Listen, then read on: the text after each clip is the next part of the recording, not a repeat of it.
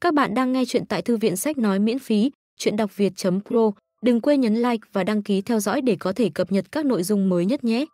Bên cạnh đó các bạn cũng có thể đóng góp ủng hộ theo mã QR trên video hoặc số tài khoản ở phần mô tả để giúp kênh có chi phí để thực hiện các bộ truyện tiếp theo. Xin trân trọng cảm ơn. Sau đây là bộ truyện Ngụy Quân Tử thấy chết không sờn của tác giả Bình Tằng. Tập 67. Chương 661, Quân nơi chín suối cùng cát bụi, ta tại nhân gian tuyết trắng đầu. 2. Ma quân, bốn thành thực lực của ta, ở nhân gian cơ bản thực khó gặp được nguy hiểm. Ngụy quân, ngươi yên tâm, về sau có ta ở đây, tuyệt đối sẽ không lại để cho ngươi phải mạo hiểm, ta sẽ giúp ngươi bình định tất cả khó khăn. Ngụy quân nghe vậy thì chỉ im lặng, rèn rẹt, xét đánh giữa trời. Vậy mà hắn lại quên, phản đồ lấy oán trả ơn nhiều nhất trên thế giới này chính là ma quân.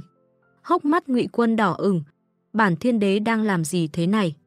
Tân tân khổ khổ ép buộc nửa ngày, kết quả tự tạo cho mình một bảo tiêu hầu như vô địch thiên hạ. Ngụy quân hận nha, ma quân thấy Ngụy quân kích động như vậy, trong lòng cũng mười phần cảm động. Sủng nhân này quả nhiên vẫn rất sủng ái bản miêu. Biết được thực lực bản miêu khôi phục bốn thành, ngươi xem hắn cảm động chưa kìa, đều khóc nhanh như vậy. Trên thế giới này, lần đầu tiên có người dùng tình cảm chân thành thắm thiết đối đãi với nàng như vậy, Ma Quân cảm thấy hạnh phúc thật nhiều. Không giống như cái nhìn của Ma Quân, những người khác ở đây nhìn thấy bộ dáng Ngụy Quân có hốc mắt đỏ bừng. Chỉ nghĩ đến Ngụy Quân đang tức cảnh sinh tình, tại địa phương đặc thù này, Ngụy Quân hoàn thành cộng minh cùng với linh hồn anh hùng liệt sĩ. Bọn hắn đánh giá rất cao đối với Ngụy Quân. Vạn hạnh trời xanh có mắt, để cho ta đại càn sản sinh ra một Ngụy Quân tử. Có Ngụy đại nhân, ta tin tưởng máu của những chiến hữu này sẽ không mất đi vô ích, bọn họ nhất định có thể bách thế lưu danh. Vì một đoạn lịch sử chiến tranh vệ quốc này được viết sách soạn sử, trừ bỏ ngụy đại nhân, là ai ta cũng không tin tưởng. Nếu không có ngụy đại nhân, di thể những huynh đệ này ở Tây Đại Lục hiện tại cũng về không nhà được. Lương hỏa tương truyền, trong chiến tranh vệ quốc, có chí sĩ đầy lòng nhân ái này. Vài năm sau, vẫn có lứa tuổi trẻ tuấn kiệt như ngụy đại nhân bọn họ. Đại càn ta dù có các vấn đề, nhưng cho tới bây giờ cũng không thiếu khuyết anh hùng. Ngụy Quân bị những người này thổi phồng có chút đỏ mặt. Hắn khẩn khoản khoát tay áo, khiêm tốn nói, các vị, mọi người vẫn nên tự tìm kiếm chiến hữu ngày xưa của mình, hoặc là cung bái anh hùng liệt sĩ đi. Trước mặt những anh linh đã hy sinh tại đây, Ngụy Mũ thật sự không có mặt mũi được các vị khen ngợi. Bọn họ mới là nhân vật chính, ta chỉ là người chấp bút cho bọn họ mà thôi. Bọn họ đương nhiên là nhân vật chính, là anh hùng, nhưng không có ngụy đại nhân, bọn họ cũng rất có khả năng sẽ ôm nỗi hận nơi cửu tuyền. Cơ soái nhìn ngụy quân, chân thật nói, ngụy đại nhân, ngươi đang nhìn bọn họ, bọn họ đã ở dưới cửu tuyền nhìn ngươi. Mọi người nói đều chính xác, cái đoạn lịch sử này chỉ có cho ngươi đến viết mới có thể làm cho bọn họ mỉm cười nơi cửu tuyền, mới có thể làm cho bọn họ chân chính bách thế lưu danh. Ngươi là văn nhân, là sử quan, đứng vững dưới áp lực khắp nơi cầm bút viết đúng sự thật, cũng không phải mọi người đều có thể đủ làm được.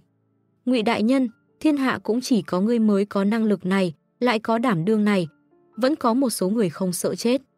Nguyện ý đắc tội càn đế nhân cũng không phải không có. Nhưng mà kẻ không sợ chết, lại dám đắc tội thế lực khắp nơi, đồng thời tự lo được cho thân mình, cũng không phải loại sử quan vô tri không biết kiên kỵ điều gì. Thật đúng là chỉ có một mình ngụy quân. Chuyện này, không phải là hắn thì là ai bây giờ, bởi vì liên lụy rất lớn. Tây Đại Lục, liên minh người tu chân, yêu đình, thậm chí thần tiên trên trời, thậm chí cấp bậc cao tầng độc thủ phía sau màn.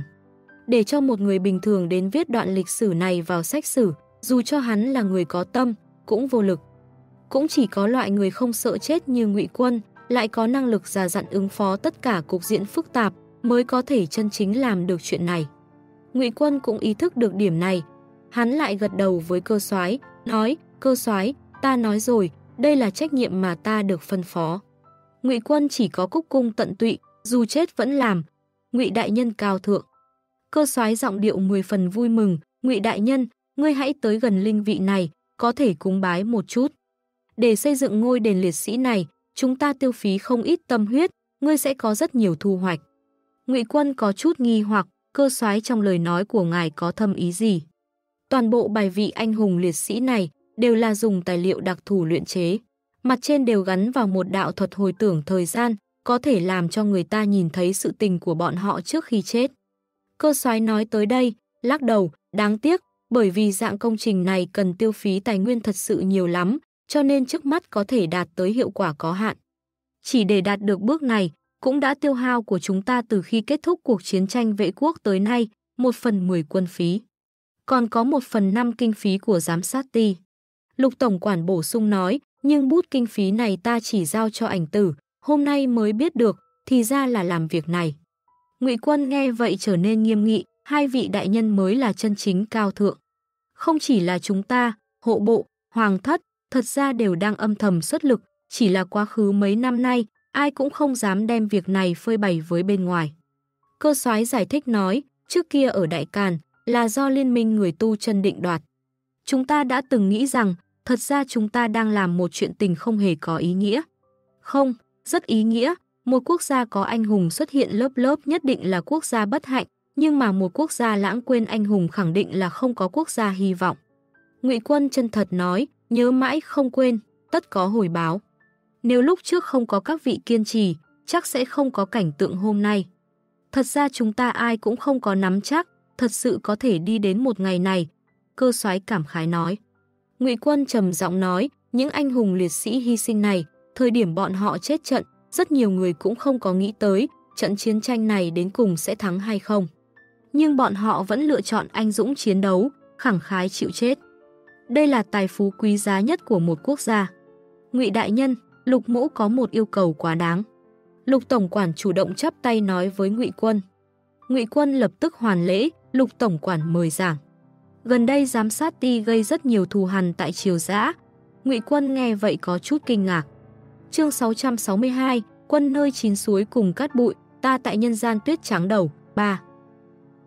Lục Tổng Quản tự mình giải thích nói, giám sát ti là một cây đao sắc bé nhất trong tay bệ hạ. Gần nhất bệ hạ muốn cải cách dứt khoát hẳn hoi, cho nên giám sát ti đắc tội một nhóm người, danh tiếng trong triều giã cực kém. Ngụy Quân trầm mặc, ta tin ngươi mới là chuyện lạ. Bản thiên đế đọc sách cũng không ít, ngươi mơ tưởng gạt ta.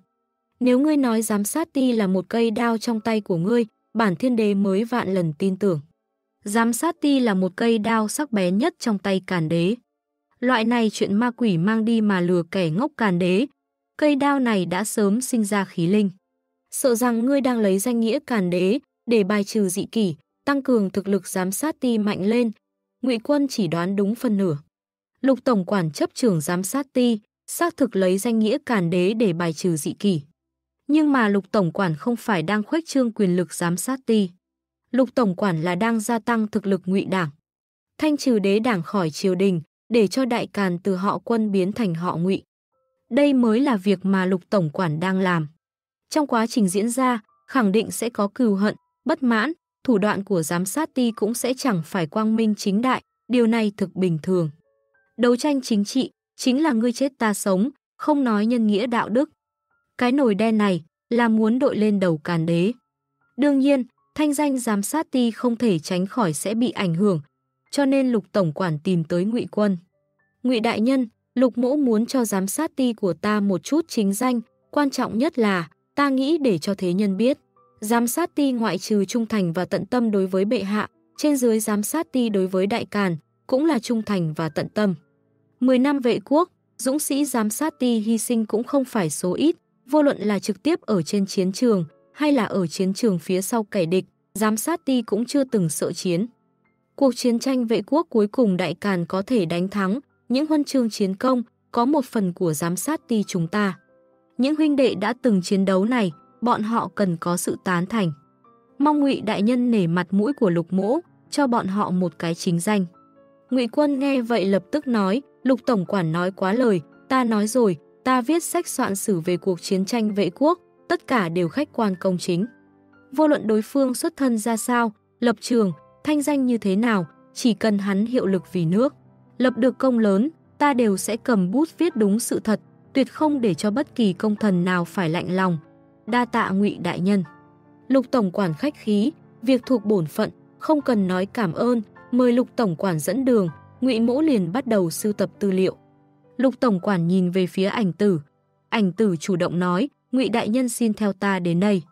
Rất nhanh, ảnh tử liền dẫn Ngụy Quân tới trước một bài vị. Đây là lão tứ. Ngụy Quân hiểu rõ, Lục tổng quản có 9 nghĩa tử. Lão đại triệu thiết trụ, Càn đế dự định chọn làm đế đốc giám sát ti đời kế tiếp. Lão nhị gọi là đệ nhị, là kẻ giết chóc nhiều nhất ở giám sát ti. Lục Nguyên Hạo được đặt phía trước, cũng được xưng là nghĩa tử có thực lực mạnh nhất lục tổng quản. Lão Tam hôn mê bất tỉnh đến nay, trở thành một người thực vật. Mà linh bài trước mặt này chính là lão tứ trong cửu đại nghĩa tử của lục tổng quản. Ngụy Quân khom người vái bài vị. Ngay sau đó, Ngụy Quân tâm thần vừa động, liền thấy được phía trên bài vị hiện lên một bóng người thấp bé. Đồng thời Ngụy Quân mẫn cảm chú ý thấy, sau khi bóng người xuất hiện ở đó, hai tay Lục tổng quản liền bắt đầu run rẩy. Môi mấp máy muốn nói lại thôi, ánh mắt đồng dạng biến đổi phức tạp rất nhiều. Người đầu bạc tiễn người đầu xanh. Từ xưa đó là chuyện tình bi thương nhất nhân gian. Hình ảnh hiện lên phía trên bài vị là tuyệt bút được viết lại bởi tứ đương đầu. Đó là lá thư gửi cho lục tổng quản. Nghĩa phụ, 8.000 dũng sĩ chúng ta đã hy sinh hầu như không còn, thế công của địch chưa giảm, tiền đồ gian nan. Nếu trận địa tồn tại, Hải Nhi sẽ còn sống gặp lại nghĩa phụ. Nếu trận địa thất thủ, ta sẽ chết ở chiến trường, vùi thây nơi cỏ dại. Hốc mắt lục tổng quản đỏ lên, đột nhiên quay đầu. Ngụy Quân cũng lặng lẽ thật lâu. Ngụy đại nhân, đây là bài vị lão ngũ. Ảnh tử nói, Ngụy Quân xá một cái với bài vị ngũ đường đầu. Sau đó hắn đồng dạng thấy được một phong thư nhà. Nhưng cái phong thư nhà này không phải viết cho lục tổng quản, mà là viết cho thê tử. Lục tổng quản là thái giám, nhưng mà người của giám sát ti cũng không phải thái giám, cho nên bọn họ đều có thể cưới vợ sinh con. Một phong thư nhà tuyệt mệnh khiến cho ngụy Quân lại trầm mặc. Lần này phụng mệnh cố thủ cổ thành, đại kế của bề trên chưa định, liên lạc với hậu phương quá xa xôi. Kẻ địch hành động lại mau, hiện tại một mình phấn đấu, quyết chí hy sinh tất cả vì công ơn dưỡng dục của quốc gia. Vì nước chết trận, vô cùng hiển hách. Người nhớ thương, hãy phụng dưỡng nghĩa phụ còn sống. Cuộc sống mẫu tử các ngươi sau này càng thêm thống khổ. Nhưng con của chúng ta cực kỳ thông tuệ, tương lai sẽ có đại thành. Ngươi chỉ khổ vài năm, có thể có phúc, ắt sẽ đến ngày dương danh nổi tiếng, hy vọng chờ nhớ mong ta. Nghĩa phụ cũng ở tiền tuyến, không cần phải nghe. Lục Tổng Quản thật sự lần đầu tiên nhìn thấy cái phong thư này. ngụy Quân nhìn về phía Lục Tổng Quản. Đây là đầu lĩnh đặc vụ lãnh huyết vô tình trong mắt thế nhân, ngay tại trong nháy mắt ngắn ngủi vừa rồi, liền giống như già đi 10 tuổi. Tóc vốn dĩ có màu đen xám, hiện tại đã bắt đầu xuất hiện màu hoa dâm. Vô tình chưa hẳn là hào kiệt, ai bảo thương con không trượng phu. Từ xưa đến nay, người đầu bạc tiễn người đầu xanh, vốn là nỗi đau lớn nhất. Nước mắt lục tổng quản vẫn còn, nhưng trên mặt lại đang cười. Tươi cười tràn ngập kiêu ngạo. Đề đốc, cười. Ảnh tử nhìn thấy lục tổng quản thế mà chớp mắt một cái đã bạc đầu, nhất thời trong lòng đau xót. Lục tổng quản có 9 nghĩa tử, cũng chẳng khác nào là 9 hài tử của hắn. Nhưng mà 9 người này trung quy là được lục tổng quản nuôi lớn, không phải được hắn nuôi lớn. Cho nên tuy ảnh tử cũng coi như thân mật với bọn họ, nhưng dù sao vẫn còn cách một tầng hắn sẽ không cảm nhận được nỗi đau mất nhi tử rõ ràng như vậy. Nhưng mà sau khi nhìn thấy biến hóa của lục tổng quản, ảnh tử cũng bị cảm động lây, cảm nhận được lục tổng nỗi đau mất nhi tử. Các bạn đang nghe chuyện Ngụy Quân Tử thấy chết không sờn của tác giả Bình Tằng tại thư viện sách nói miễn phí, chuyện đọc việt.pro. Chương 663, trong nháy mắt lông tóc dựng cả lên, 1.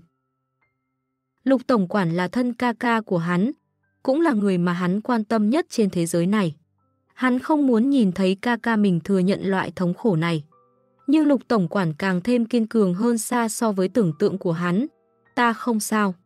Giọng nói lục tổng quản còn có chút run rẩy Nhưng trên mặt vẫn mang theo nụ cười kiêu ngạo như trước. Ảnh tử đương nhiên sẽ không cho rằng lục tổng quản không có chuyện. Tự tay nuôi lớn 9 đứa nhỏ, có một nửa đều nằm xuống ở trên chiến trường. Người đầu bạc tiễn người đầu xanh, đổi thành một người sống tình cảm, đều rất khó thừa nhận. Đốc chủ, bọn họ đều là vì nước tận trung, không phải của sai lầm của ngài. Ảnh tử cũng biết an ủi như vậy thật ra không hề có tác dụng. Nhưng mà trừ bỏ an ủi bề ngoài như vậy, hắn cũng thật sự không biết nên nói cái gì. Lục Tổng Quản cười nói, đương nhiên không phải là sai lầm của ta, nếu cuộc đời có thể quay trở lại, ta vẫn sẽ lựa chọn đưa bọn họ ra chiến trường như trước. Làm thành viên của giám sát ti, cái này là trách nhiệm mà bọn họ phải gánh vác. Văn chết vì can gián, võ chết trên chiến trường. Thời chiến, giám sát ti chính là tai mắt của quân đội, là quân nhân tiêu chuẩn nhất. Quốc nạn lâm đầu, quân nhân sung phong chiến trường, có cái gì sai? Ta chỉ hối hận, năm đó không thể làm được nhiều hơn chút chuyện cho bọn họ, không thể làm cho bọn họ càng cường đại hơn, để mà bảo trụ tính mạng. Nói xong lời cuối cùng, trong giọng nói lục tổng quản vẫn là nhịn không được toát ra bi thương vô hạn. Nếu như nhân sinh có thể lặp lại, hắn vẫn sẽ làm ra lựa chọn đồng dạng. Nhưng hắn nhất định sẽ làm cho thỏa đáng hơn.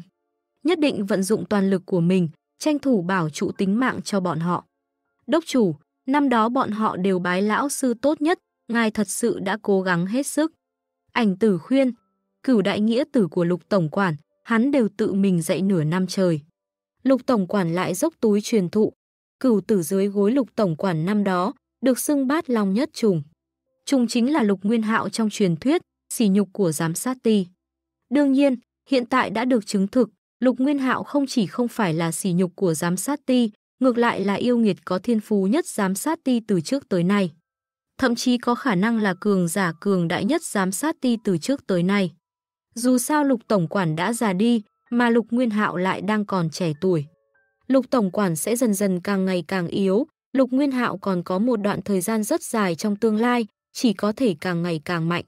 Lục Nguyên Hạo có khả năng rất lớn vượt qua Lục Tổng Quản, thậm chí hiện tại đã muốn vượt qua.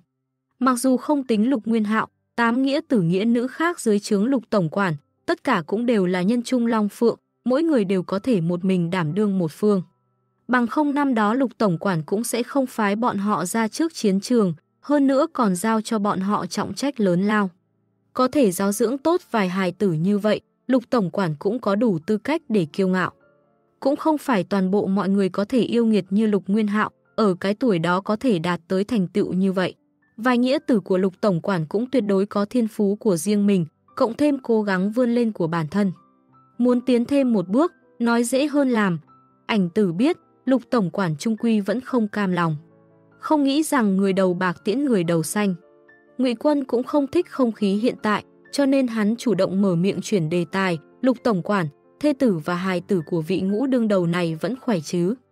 Nghe Ngụy Quân lên tiếng, trên mặt Lục Tổng Quản chân thật tươi cười hơn một ít, vui mừng nói, đều ở Kinh Thành, nhờ có lão ngũ lập nên công huân, nửa đời sau của bọn họ là không cần lo lắng. Thê tử lão ngũ là nữ nhân tốt, bọn ta khuyên nàng tái giá, nàng nói trước tiên nuôi nấng hài tử lớn lên rồi mới lo lắng chuyện tình của mình. Nhưng ta xem lòng của nàng đã chết, hẳn là không chuẩn bị lại đi tái giá với người khác. Đại Càn cũng không cấm nữ tử tái giá, không khí tương đối mà nói vẫn rất cởi mở. Hơn nữa không khí cởi mở của Tây Đại Lục đang không ngừng thâm nhập vào Đại Càn, tái giá ở Đại Càn sau khi trượng phu chết đã là một lệ thường cơ bản trong lòng người. Cả nhà Dương Đại soái cũng từng khuyên vị hôn thê Hầu Biên Tiên của Dương Tam Lang tái giá. Chẳng qua Hầu Biên Tiên cũng cự tuyệt. Hiện tại, thê tử ngũ đương đầu cũng cự tuyệt. Thực hiển nhiên, các nàng cũng không phải đang lập bài phường trinh tiết. Đại Càn không thịnh hành chuyện đó. Các nàng không muốn tái giá, chính là thuần túy không muốn tái giá. Có một số người, cả đời thật sự cũng chỉ có thể thích một người. Ngụy Quân đối với người như thế 10 phần bái phục. Hắn thì không làm được. Lục Tổng Quản đối với điều này hiển nhiên cũng có chút cảm khái, nhưng hắn cũng không muốn tán gẫu thêm về chuyện này. Mà tiếp tục nói, thiên phú hài tử của lão ngũ hơi kém một chút, rất khó đạt tới thành tựu lão ngũ năm đó. Nhưng thiên phú kém cũng không nhất định là chuyện xấu, nếu thiên phú hắn rất tốt, tương lai chỉ sợ lại muốn đi lên con đường xưa của lão ngũ. Thiên phú như vậy, làm một người bình thường là tốt rồi, giám sát ti còn có thể bảo hộ được hắn. Người quá xuất sắc, giám sát ti ngược lại không bảo hộ được, cũng không thể bảo hộ. Bởi vì ngươi không thể ngăn cản quyết tâm hiệu lực vì nước của người này. Nhưng mà người sống trong thế gian, rất khó xuất sắc, cũng rất khó gặp nguy hiểm. Đối với lục tổng quản mà nói, lão ngũ đã chết trận xa trường, cả đời hài tử của hắn bình an.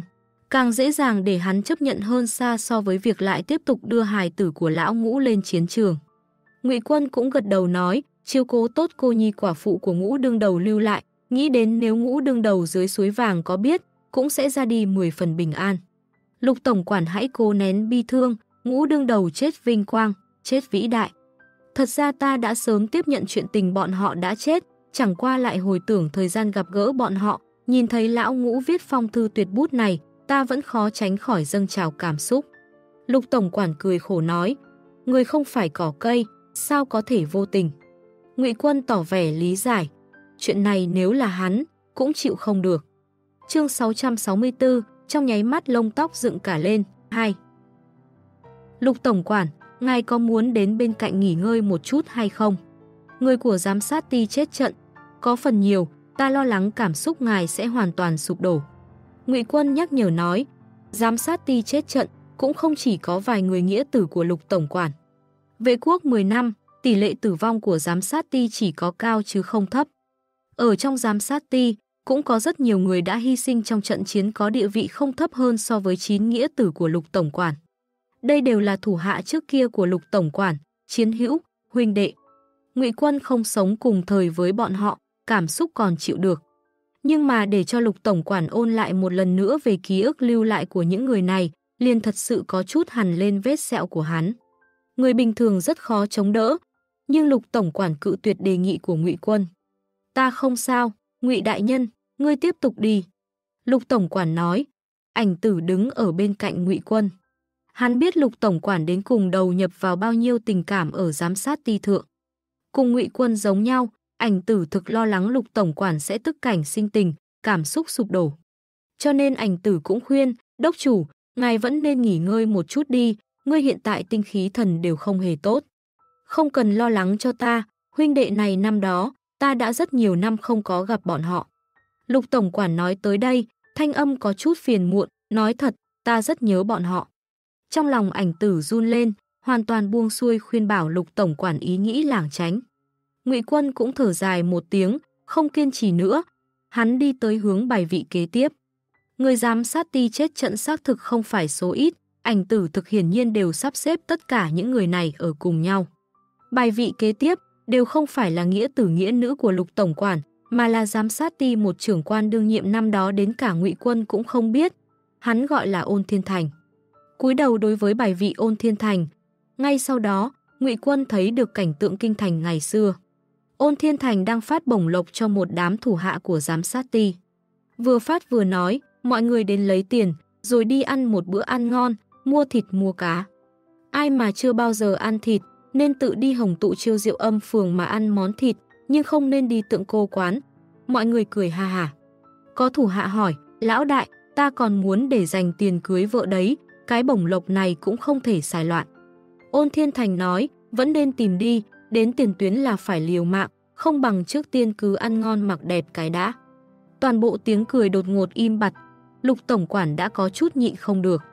Lão ôn, đây là lão huynh đệ của hắn, cũng là huynh đệ ủng hộ hắn sớm nhất. Ôn Thiên Thành đi lên tiền tuyến, cũng đã có dự cảm không ổn. Nhưng quốc nạn lầm đầu, đại địch tiếp cận, thân là quân nhân, biết rõ hẳn phải chết, lại cũng không hề lựa chọn lui ra phía sau. Nếu không, làm sao có thể xứng đáng với bổng lộc mà mình đã nhận? Làm sao có thể xứng đáng với một thân nam nhi bảy thước? Ngụy Quân đem chứng kiến vừa rồi của mình, ghi tạc thật sâu trong lòng. Trước kia Lục Nguyên Hạo từng nói với hắn, giám sát ti cũng là cả nhà trung liệt. Lúc ấy Ngụy Quân cũng không có cảm giác gì. Nhưng mà hiện tại, hắn hiểu rõ ý tứ thành ngữ cả nhà trung liệt này. Phía sau thành ngữ này, đó là công tích được chứng kiến bởi vô số máu tươi và chết chóc.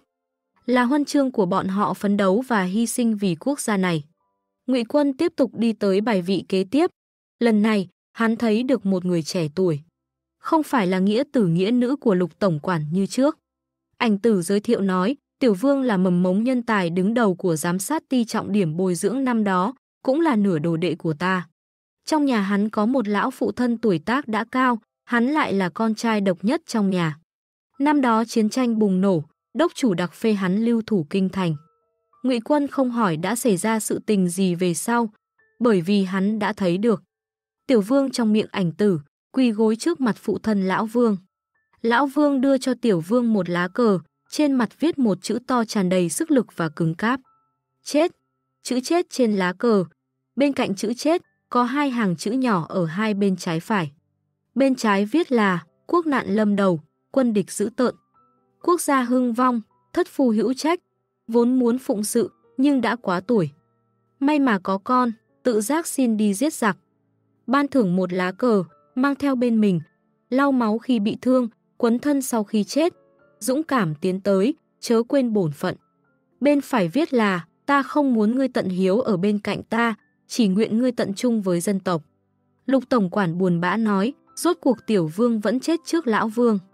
Trong lòng ngụy quân run lên, đây là chiến tranh, cũng là huyết hải thâm thù. Không có bất luận kẻ nào có tư cách đại biểu tha thứ thay cho những người đã hy sinh này. Nếu thật sự phải khẩn cầu bọn họ tha thứ, vậy chỉ có thể đi âm tào địa phủ mà tìm bọn họ. Người còn sống thì không có tư cách đưa ra quyết định. Một lát sau, Lục Tổng Quản nhìn bài vị trước mặt mình, tâm tình so với nhìn thấy bài vị nghĩa tử mình lại càng thêm phức tạp. Đây là sư phụ của ta, Lục Tổng Quản nói. Ngụy Quân khiếp sợ nhìn về phía Lục Tổng Quản. Lục Tổng Quản trầm giọng nói, xác thực là sư phụ của ta, một nửa bản lãnh của ta, đều là ngài ấy dạy.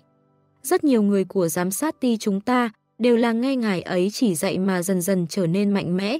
Về phần sau đó, Ngụy Quân thấy được nhật ký của sư phụ Lục Tổng Quản lưu lại. Trên một trang giấy, chỉ viết hai câu nói, lại làm cho người ta cảm động không thôi. Đệ tử của ta đều đã sớm chết sạch hết rồi, hôm nay nên tới phiên lão sư ta đây. Đối mặt với chiến tranh, có người trốn tránh, có người lạnh lùng, có người đầu hàng, có người mượn cơ hội phát tài trên quốc nạn. Nhưng cũng có người luôn đẫm máu hăng hái chiến đấu, có lão phụ chủ động đưa nhi tử tòng quân, có lão hủ đã tới tuổi trừng hoa giáp, một lần nữa mặc giáp giết địch. Trong số các nghĩa tử nghĩa nữ của ta, để cho ta đau lòng, là tiểu lục. Nàng chết không hề có giá trị, là ta hại chết nàng. Nếu ta không phái nó đi Tây Đại Lục, để cho nó ở lại Đại Càn. Trong cuộc chiến tranh vệ quốc, nó nhất định có thể tỏa sáng góp công sức lớn. Tiểu lục, trong số toàn bộ nghĩa tử nghĩa nữ của ta, là một đứa có năng lực học tập mạnh nhất. Các bạn đang nghe chuyện Ngụy Quân Tử thấy chết không sờn của tác giả Bình Tằng tại thư viện sách nói miễn phí, chuyện đọc việt.pro. Chương 665, lần đầu tiên nói dối thấu trời, để cho thế giới cuốn theo chiều gió. 1. Sau khi Ngụy Quân nhìn thấy hình ảnh Tiểu Lục, hắn lập tức rõ ràng Lục tổng quản vì sao mà thống khổ như thế. Tiểu Lục là một nữ hài, là nghĩa nữ Lục tổng quản. Từ lão đại đến lão ngũ, tất cả đều là nam hài. Ở trong số đó, có một nữ nhi thông minh lanh lợi, đổi lại là Ngụy Quân, cũng sẽ phi thường sủng ái. Mà Tiểu Lục hồi tưởng thời gian là một màn từ biệt với Lục tổng quản. Nghĩa phụ, Tiểu Lục đi Tây Dương, biết rõ trách nhiệm trọng đại. Vũ khí Tây Đại Lục tiên tiến hơn 100 năm so với Đại Càn, nếu muốn xóa bỏ chênh lệch này, chỉ có thể học cách của Manji để áp chế Manji. Tiểu Lục lưng đeo tương lai quốc gia, đi lấy hết khoa học của người Tây. Ra vùng biển vô tận, xa lãnh thổ quê hương, Tiểu Lục tuyệt không hối hận, chỉ nguyện nghĩa phụ bảo trọng bản thân.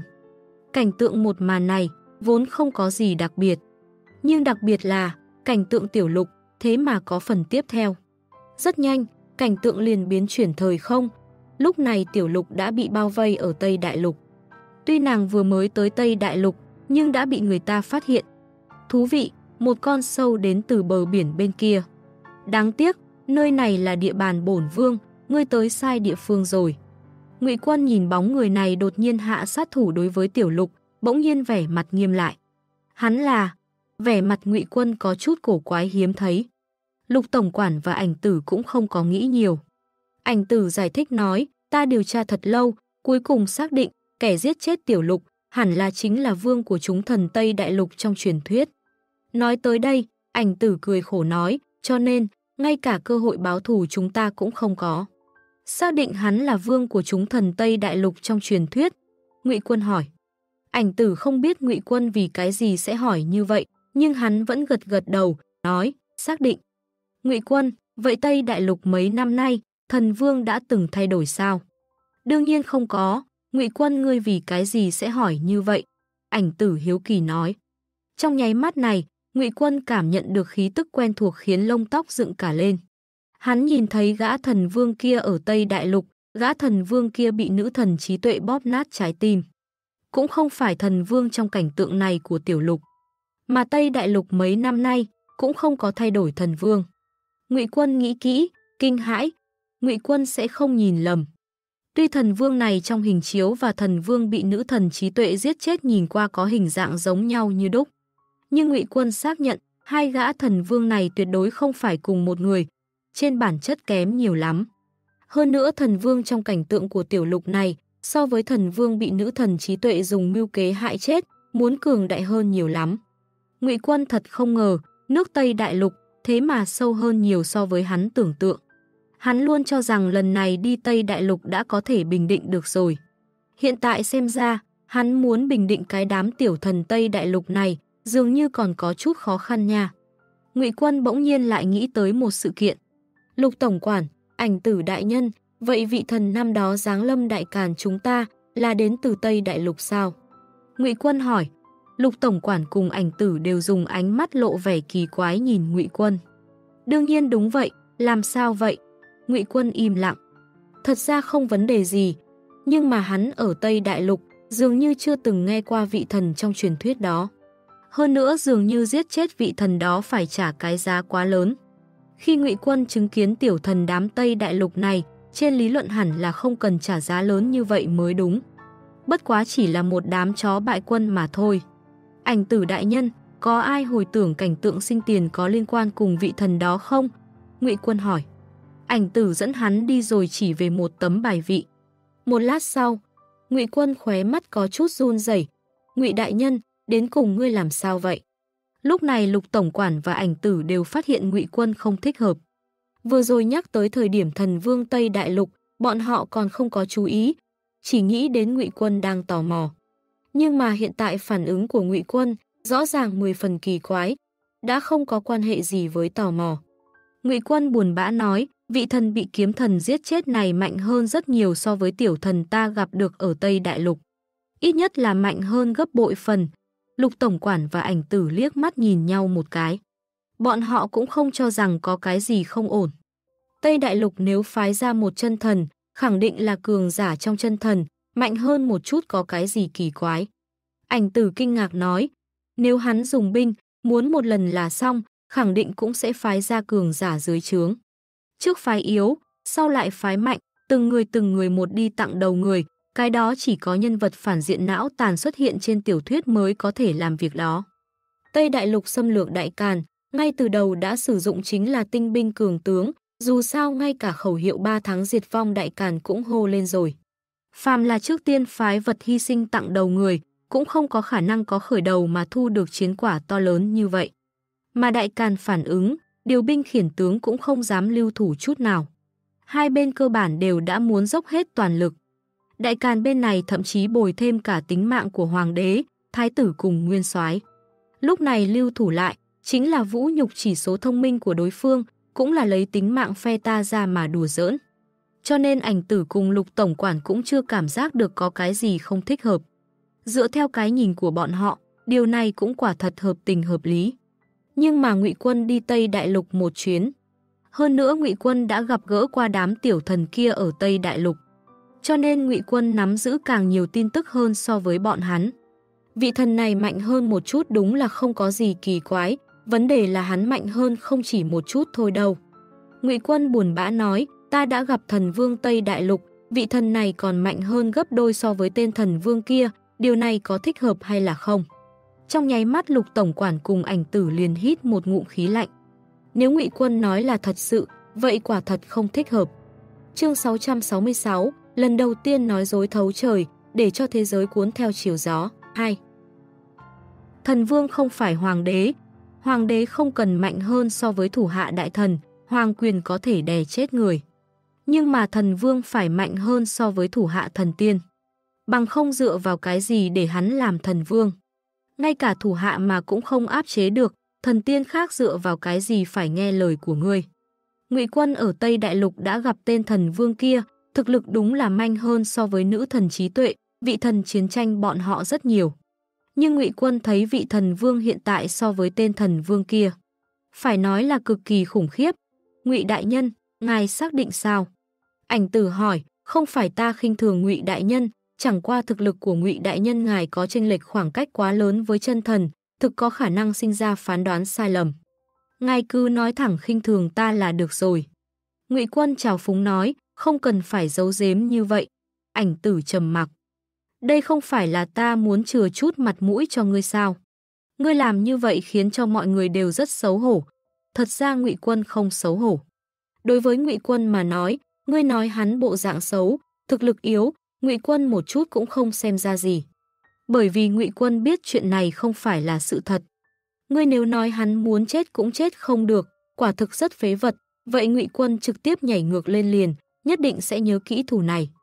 Bởi vì điều này là sự thật, ta trăm phần trăm xác nhận cái nhìn của mình là thật, Lục Tổng Quản hẳn là sẽ tin tưởng ta. Ngụy Quân mang ánh mắt nhìn về phía Lục Tổng Quản. Lục Khiêm đầu tiên là sừng sốt, tiếp theo liền phản ứng, ánh mắt đồng dạng dừng ở ma quân.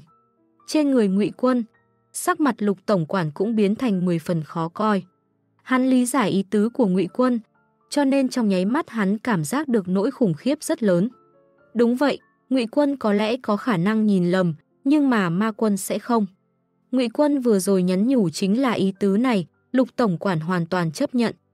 Tuy ma quân thật ra căn bản là chưa thấy qua thần vương Tây Đại Lục kia. Nhưng Lục Tổng Quản không biết nha. Lục Tổng Quản chỉ biết là ma quân ở bên người ngụy quân. Ngay cả khi ma quân có thương tích trong người, muốn phán đoán mạnh yếu của hai gã thần tiên cũng là 10 phần có trọng lượng. Lục Tổng Quản tự hỏi mình không có tư cách nghi ngờ ma quân. Như vậy vấn đề tiếp theo. ngụy Đại Nhân chắc chắn sẽ không nói dối, cho nên chuyện này đến cùng là chuyện gì xảy ra. Lục Tổng Quản trầm giọng hỏi. Ảnh tử choáng.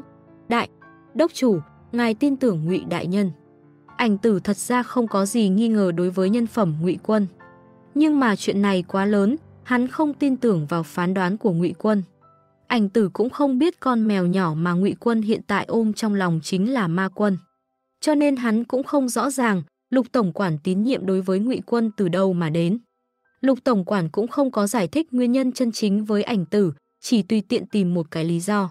Ngụy Đại Nhân lĩnh ngộ đạo trí thành, cho nên hắn có thể nhìn thấu rất nhiều điều mà người thường nhìn không thấu. Gặp chuyện không quyết, cơ học lượng tử.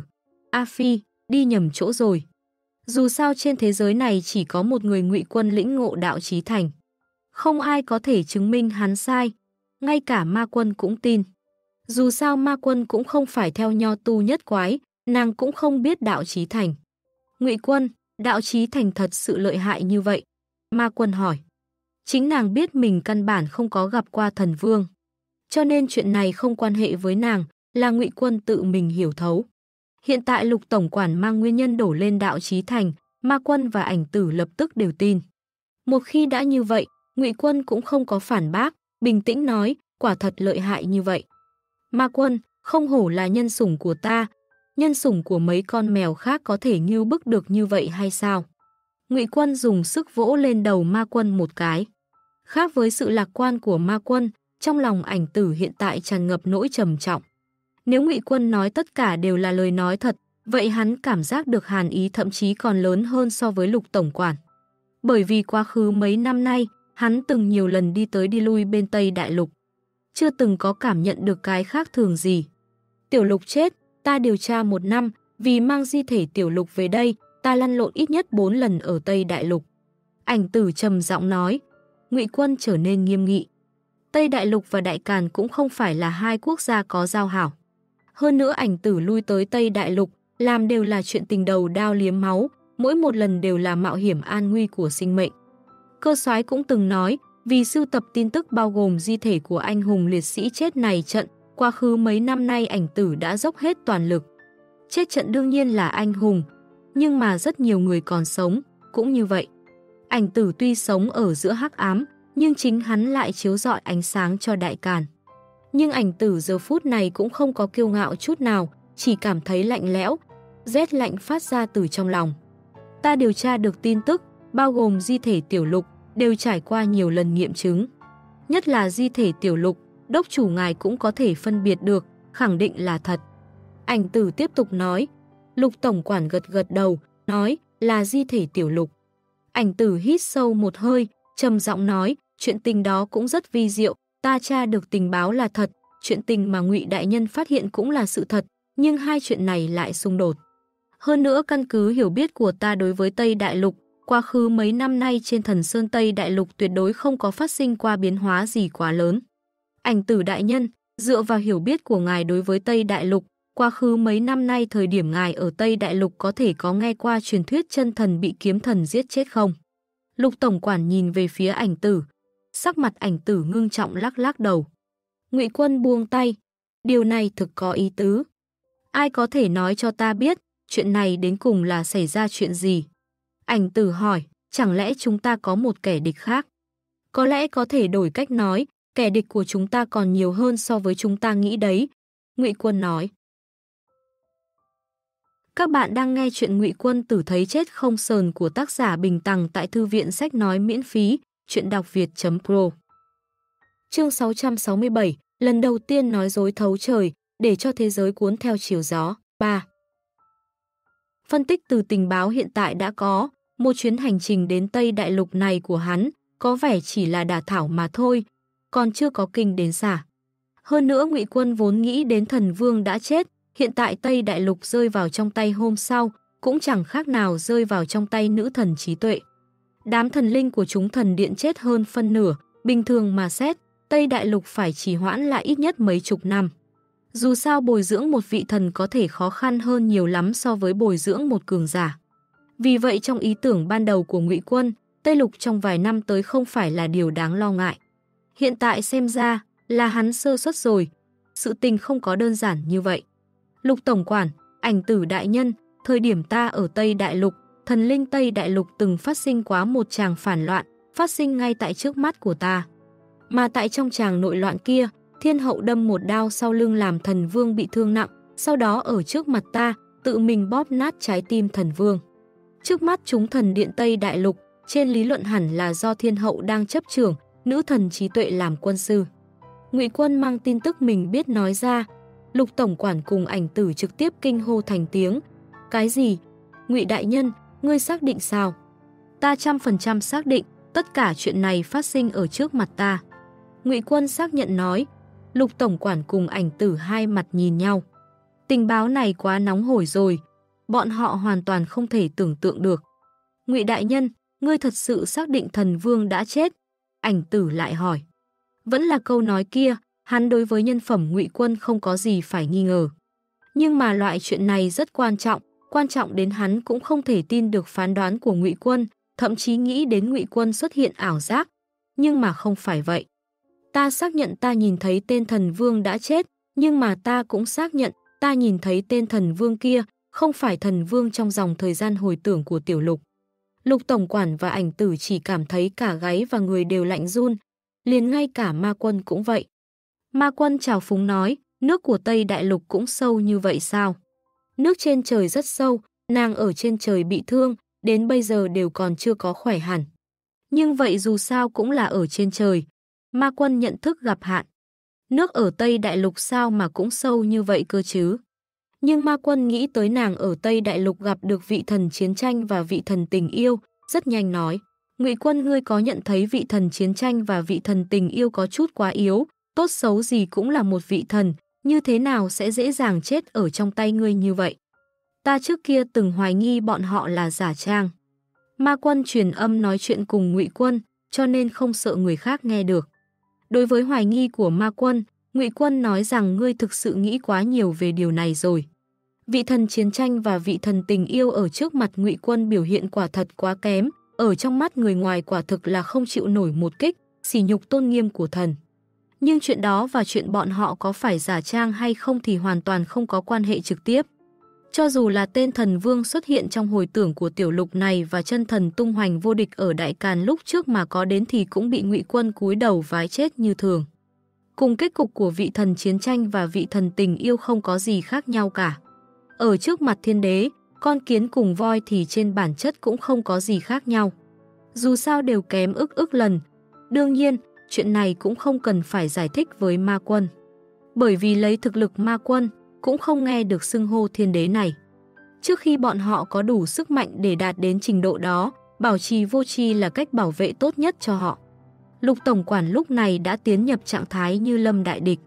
ngụy Đại Nhân, việc này chúng ta phải nhanh chóng thông báo cho cơ soái đồng thời bày ra trọng binh ở dọc tuyến bờ biển phía Tây. Nếu điều này là thật sự, vậy nước Tây Đại Lục phải sâu hơn rất nhiều so với chúng ta tưởng tượng. Chúng ta đang chiếm ưu thế trước mắt này, thậm chí có khả năng là do kẻ địch đang cố bày bố nghi trận. Lục Tổng Quản nói. ngụy Quân ngẫm nghĩ về chuyện đồ thành Tây Kinh, lắc đầu, nói không có khả năng cố bày bố nghi trận, đối phương không tất yếu phải trả giá lớn như vậy. Nhưng nước Tây Đại Lục phải sâu hơn rất nhiều so với chúng ta tưởng tượng thì ta đồng ý với điểm ấy, quả thật phải thận trọng một chút, không thể bị chiến tích trước mắt làm cho mê hoặc. Nếu dựa theo thế cục trước mắt để xét, đại càn bên này thậm chí có thể vô tư. Lần này ngụy quân đi Tây Đại Lục, đến cùng vẫn là lướt qua các nơi dừng lại một ít mà thôi. Dừng lại ở tòa thành văn minh thời gian dài nhất, nhưng tòa thành văn minh là một tòa thành trung lập, thật ra rất khó có nội tình gì. Ngụy quân chỉ lưu lại Tây Kinh thành một lát, đã bị cơ soái đổ sát. Về thần linh Tây Đại Lục này, lại bởi vì Ngụy quân có quan hệ không tốt lắm với bọn họ, làm cho hắn cũng không thể thâm nhập nghiên cứu sâu về bọn họ. Hiện tại nghĩ đến, hắn còn chưa thể tính là hiểu rõ hết đối với tình huống Tây Đại Lục, nhiều lắm cũng chỉ là cưỡi ngựa xem hoa. Trung tâm lực lượng Tây Đại Lục là cái gì? Năm đó người chủ lực phát động đông trinh của Tây Đại Lục là ai? Trước mắt ngụy quân đều không rõ ràng lắm chuyện này. Xác thực không thể khinh thường. Mặc dù ngụy quân có thể khinh thường, dù sao ngụy quân chính là muốn chết, nhưng đại càn không thể. Đại càn cũng không có tin tưởng ngụy quân. Lục tổng quản rất nhanh liền tìm được cơ soái. Sau một phen thì thầm, cơ soái quả nhiên cũng thất thố. Một lát sau, đám người cơ soái, lục tổng quản, Triệu Vân nhanh chóng tập kết cùng một chỗ, mở một cái độc lập không gian, thông báo tình huống mà Ngụy Quân đã phát hiện. Sắc mặt mọi người ngưng trọng, cảm nhận được áp lực như núi. Cùng lúc đó, Tây Đại Lục, Tây Kinh Thành, Thiên Hậu và Nữ Thần trí tuệ ẩn nấp thân hình, từ giữa không trung quan sát mảnh phế tích này. Sau khi cơ soái đồ thành, lại dùng lửa đạn cày nát địa hình. Tây Kinh Thành đã hoàn toàn biến thành một mảng phế tích. Nhưng mà ngày đó cơ soái đồ thành, Tây Kinh Thành vốn có thể tránh tai họa lần này. Cường giả Tây Đại Lục khác xác thực không kịp cứu viện, hoặc là đến nơi cứu viện cũng không có thực lực cứu bọn họ.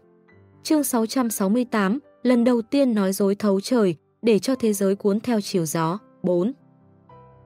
Dù sao bên cơ soái đã tung ra hết tinh nhuệ, hơn nữa đã tính toán cả những tình huống Tây Đại Lục có khả năng xuất hiện viện binh. Thật sự nếu có người gấp rút tiếp viện kịp thời, cơ soái cũng có chuẩn bị hậu chiêu chờ đón bọn họ. Nhưng mà hậu chiêu chuẩn bị của cơ soái đối với viện binh hữu dụng, nhưng đối với thần linh mà nói là vô dụng. Ngày hôm đó, thiên hậu và nữ thần trí tuệ hoàn toàn có thể nhúng tay vào việc này, cho nên có thể bảo vệ toàn bộ Tây Kinh Thành. Các nàng có thực lực này, lúc ấy các nàng cũng không có bị sự tình khác ràng buộc níu chân, hoàn toàn có thời gian ra tay. Nhưng thiên hậu bị nữ thần trí tuệ thuyết phục, thần linh cần tín ngưỡng. Cho nên thần linh cần con dân cảm nhận được sợ hãi và bất an. Nếu con dân không cần tín ngưỡng thần linh dưới sự cai trị của thần linh, có thể đủ tự bảo vệ mình, tự cung tự cấp, an cư lạc nghiệp. Vậy bọn họ vì cái gì còn muốn thờ phụng thần linh? Quan hệ thần linh và con dân, nói đến cùng cũng là một mối quan hệ cung cầu. Bất kỳ thần linh nào cũng muốn niềm tín ngưỡng khiết nhất không liên quan đến lợi ích. Nhưng mà toàn bộ thần linh đều biết nói, tín ngưỡng như vậy có thể ngộ chứ không thể cầu. Càng nhiều tín ngưỡng, bằng cách cầu thần ban cho hy vọng thần che chở phù hộ bọn họ, do đó sinh ra.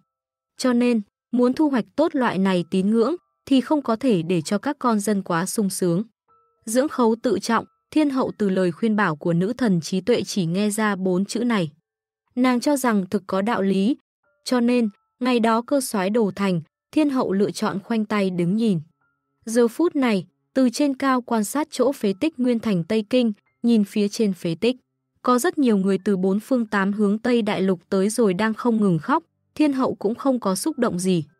Ngược lại mười phần vui mừng, nếu chúng ta giờ phút này giáng xuống thần ân, nhất định có thể thu hoạch rất nhiều tín ngưỡng. Thiên hậu nói, thần linh cùng phàm nhân đứng ở độ cao hoàn toàn khác nhau.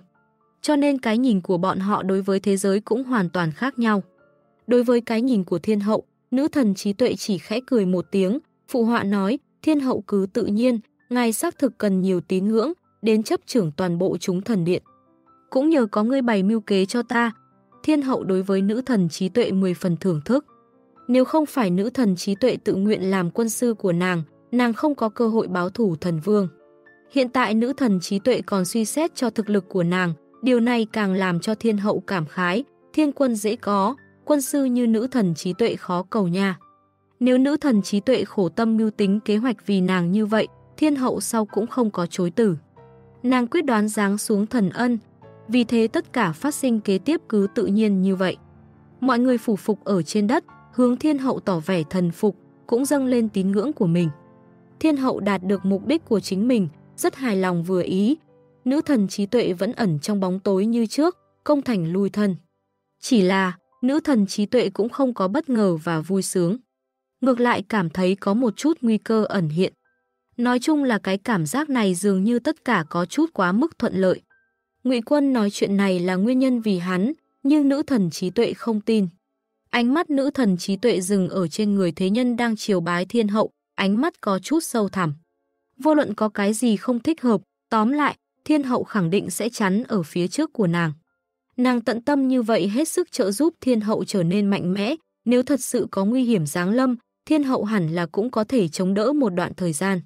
Nhưng mà nửa ngày sau, nữ thần trí tuệ liền cảm giác vận mệnh mình vẫn còn nhỏ nhoi. Trí tuệ của mình cũng thật sự rất có hạn.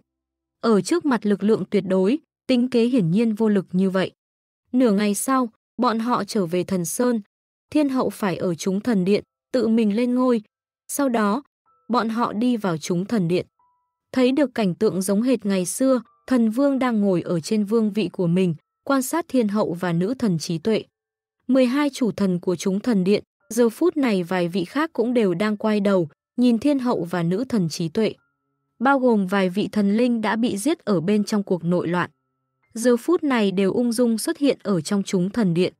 Thiên hậu và nữ thần trí tuệ nháy mắt liền bị dọa cho chảy mồ hôi lạnh khắp toàn thân.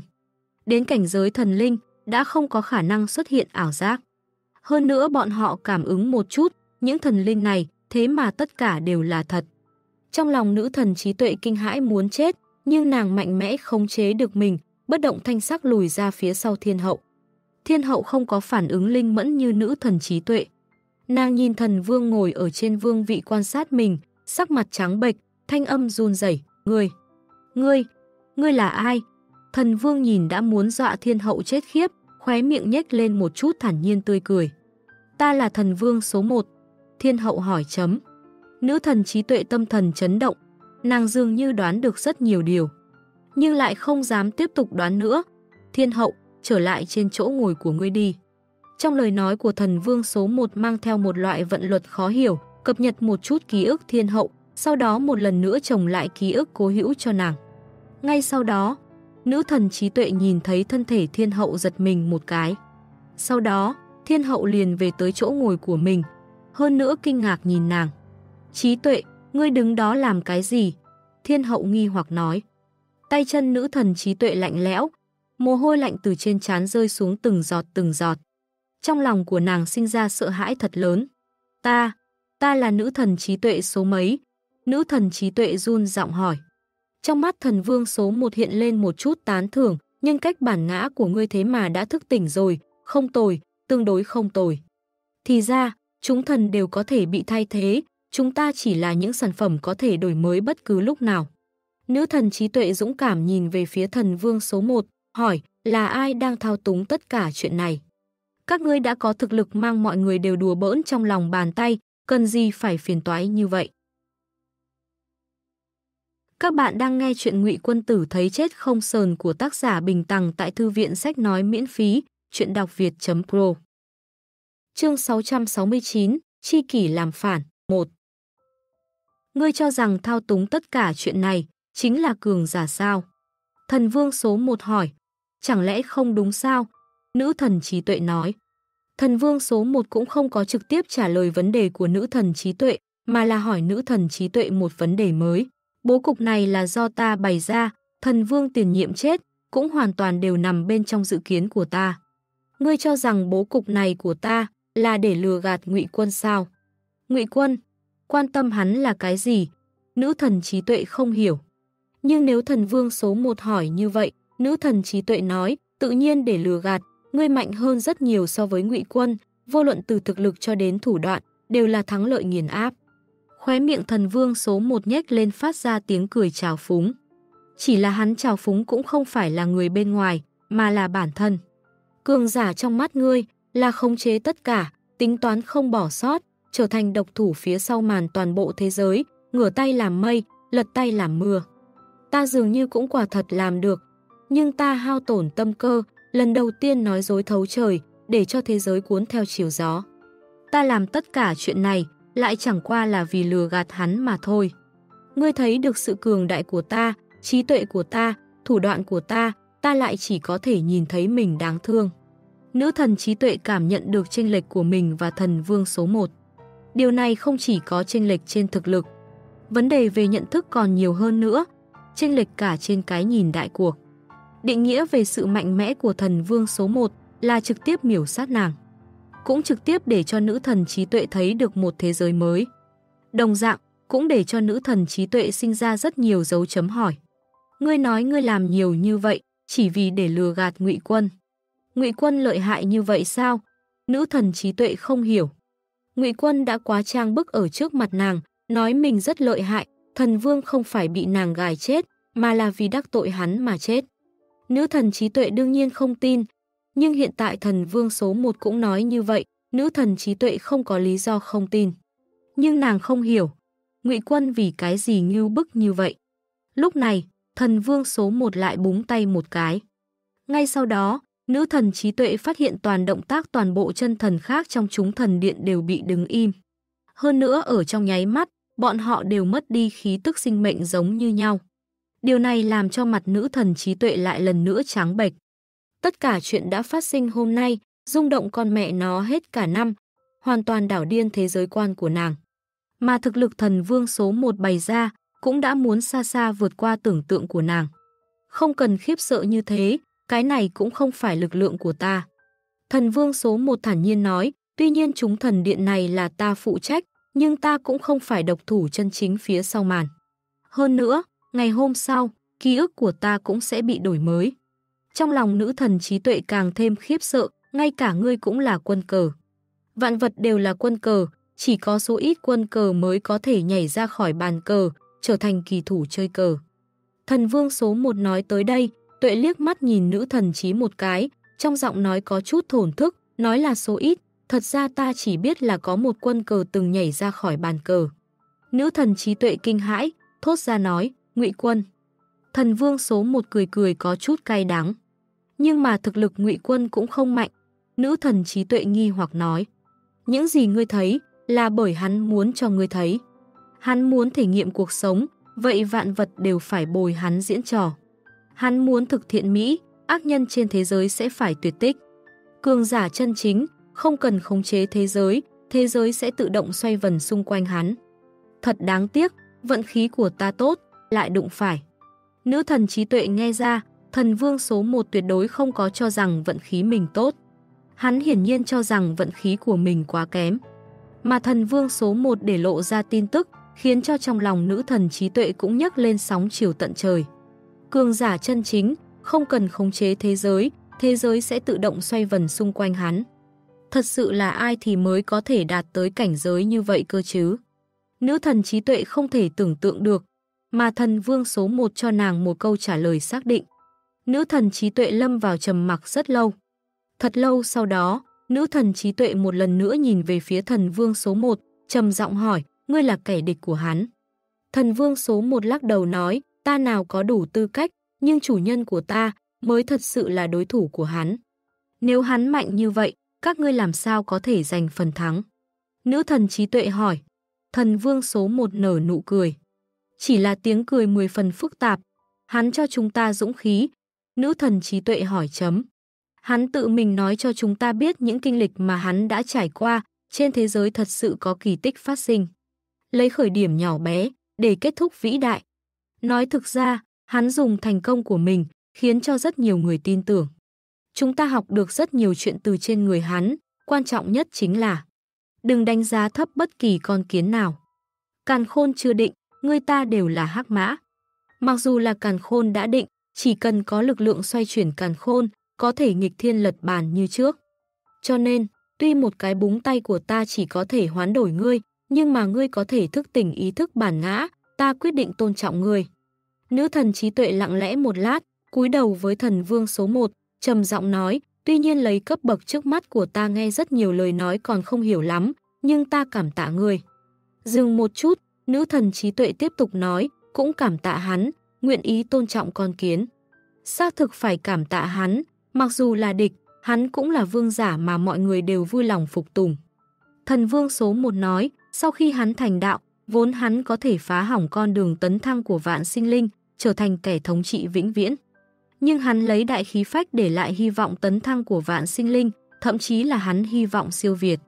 Hắn thậm chí công khai nói qua, ta ở nơi đây, chờ hậu nhân đến khiêu chiến, siêu việt. Gặp được đối thủ như vậy, chẳng sợ ngươi hận hắn thấu xương, cũng không thể không sinh lòng kính phục. Chương 670, Chi kỷ làm phản, 2 Chỉ nghe thần vương số 1 miêu tả, nữ thần trí tuệ liền sinh ra một loại cảm giác ngưỡng vọng núi cao. Cũng chỉ có người nắm được đại cục như thế mới có thể trở thành cường giả như vậy. Nữ thần trí tuệ nói. Thần vương số 1 lắc đầu nói, đều không phải là như thế, đạo của các cường giả không giống nhau. Có người đi bá đạo, có người đi vương đạo, có người theo độc tài. Đạo không có sang hèn, không phân cao thấp, chỉ có thực lực bản thân cường giả. Thụ giáo, nữ thần trí tuệ nói. Vận khí của ngươi thật sự không tồi, càng khó có được người có tâm tính cũng không tồi như ngươi. Thần vương số một tán thưởng nói, thần vương tiền nhiệm của ta thật ra cũng thức tỉnh ý thức bản ngã rồi. Nữ thần trí tuệ trong lòng giật mình, hắn cũng thức tỉnh ý thức bản ngã rồi. Vậy hắn vì cái gì sẽ? Nữ thần trí tuệ không có nói cho hết lời, nhưng mà thần vương số một lý giải ý tứ nữ thần trí tuệ.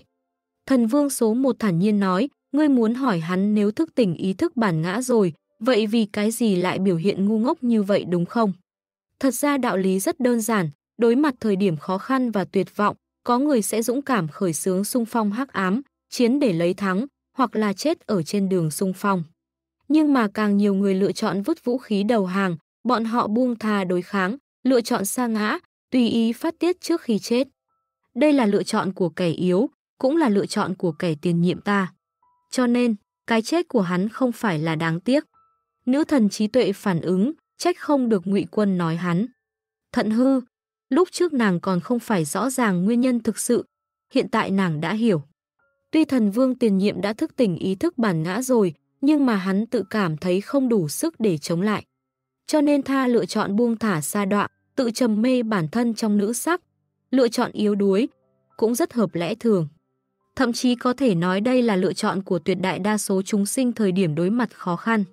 Ngươi không giống với hắn, cho nên trừ bỏ vận khí của ngươi, cũng quả thật mạnh hơn so với hắn. Thần vương số một tán thưởng nói, không hổ là người có thể lưu lại ấn tượng khắc sâu cho hắn, hắn thưởng thức ngươi, vậy lực ý chí cũng có vẻ mạnh lắm. Tâm tình nữ thần trí tuệ có chút phức tạp. Thật ra thực lực của nàng hoàn toàn không bằng thần vương tiền nhiệm. Nhưng mà ở trong mắt thần vương số 1, thực hiển nhiên thần vương số 1 phán định mạnh yếu về nàng cũng không giống như vậy. Ta sẽ bị thay sao? Nữ thần trí tuệ hỏi. Nàng cũng không muốn đầu hàng. Nhưng thực lực chênh lệch quả thật lớn đến cấp bậc nhất định. Nữ thần trí tuệ nhìn không thấy hy vọng sáng tạo kỳ tích gì, một điểm hy vọng đều không có. Cho nên hắn chỉ có thể ký thác hy vọng vào sự nhân từ của đối phương. Mà nàng cầu nguyện hiệu quả. Ta nói rồi, ngươi thực may mắn, lưu cho hắn một ấn tượng không tồi. Giữ ngươi lại, có lẽ một ngày kia có thể cứu mạng của ta. Thần vương số một nói. Nữ thần trí tuệ đầu tiên là thở phào nhẹ nhõm một hơi, rồi nghi hoặc nói, nhưng ngươi đã nói ngươi cũng sẽ đổi mới ký ức. Không chỉ là ta, hôm nay cả ngươi cũng sẽ bị phong tồn ký ức, nhưng chúng ta loại thuộc người thức tỉnh ý thức bản ngã, khi đạt tới điều kiện nhất định, sẽ tự động giải phong ký ức. Vận khí tốt, chúng ta cũng có thể tiếp tục tấn thăng. Vạn sinh linh đều có hy vọng tấn thăng, đây là hắn lưu tạo hóa cho vạn sinh linh, cũng bao gồm người ta. Buông thả bản thân mình, không xứng tiếp tục tiến hóa. Mà chúng ta đều còn chưa có buông thả bản thân, chúng ta cần chính là cạnh tranh. Thần vương số một nói. Nữ thần trí tuệ ý thức được, mình bị cuốn vào một chàng tranh đấu viễn siêu cấp bậc của nàng. Mặc dù nàng lấy trí tuệ chứ danh, nhưng mà chuyện này rõ ràng vượt qua cấp bậc lý giải của nàng. Trí tuệ của nàng cũng rất khó tạo nên tác dụng. Cho nên nàng chỉ có thể tiếp tục khiêm tốn thỉnh giáo, cạnh tranh như thế nào. Với ta mà nói, phương thức cạnh tranh là hoàn toàn đánh bại Đông Đại Lục. để cho văn minh khoa học kỹ thuật Tây Đại Lục chiếm lĩnh toàn bộ thế giới, do đó lấy được văn minh chi hỏa cùng khí vận hạch tâm của thế giới này. Thần vương số 1 nói, trong lòng nữ thần trí tuệ cả kinh. Sau đó khóe miệng thần vương số 1 hiện ra một chút cười khổ, năm đó ta thất bại, vốn định ngủ đông 10 năm, ngóc đầu trở lại, vạn vạn không nghĩ tới. Sớm biết như vậy thì năm đó hắn sẽ bất chấp mọi giá. Hiện tại, có ngụy quân, hắn hoàn toàn không thể biết được mình phải thắng như thế nào. Lần này nữ thần trí tuệ nghe hiểu. Nàng hỏi dò, ngươi không phải nói năm đó hắn để lại hy vọng cho vạn sinh linh siêu việt hắn sao? Hy vọng vẫn có thể, nhưng hắn có thể làm được chuyện đó, cũng không có nghĩa chúng ta đều có thể làm được. Thần vương số một lắc đầu nói, kỳ tích sở dĩ là kỳ tích, bởi vì nó rất ít xuất hiện. Đương nhiên, ta quả thật còn có hy vọng nhỏ bé. Năm đó thiên đế nghịch tập đạo tổ, ở trong mắt vạn vật đồng dạng là chuyện không có khả năng hoàn thành. Nhưng thiên đế làm được, ai có thể cam đoan, loại kỳ tích này sẽ không bị làm lại đâu. Luận lòng dạ, luận khí phách, thiên đế chỉ có lớn hơn so với đạo tổ, không có nhỏ hơn đạo tổ. Chỉ khác nhau là thiên đế chỉ có một. Rất nhiều thời điểm, phương thức thành công liền bày ra ở ngay đó. Ngươi mặc dù biết, cũng không làm được.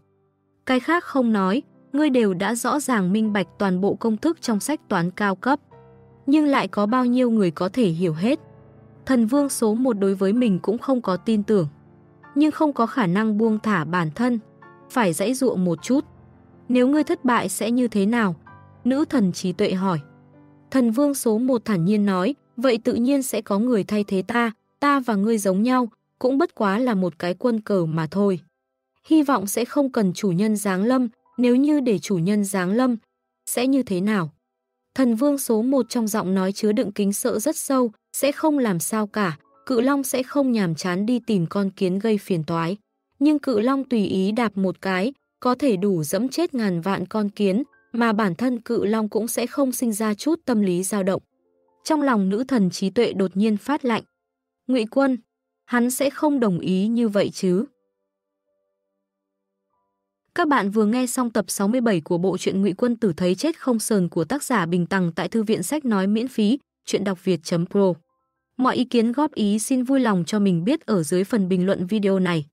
Và các bạn đừng quên nhấn like và đăng ký theo dõi để có thể cập nhật các nội dung mới nhất nhé. Bên cạnh đó, các bạn cũng có thể đóng góp ủng hộ kênh theo mã QR trên video hoặc số tài khoản ở phần mô tả. Xin cảm ơn.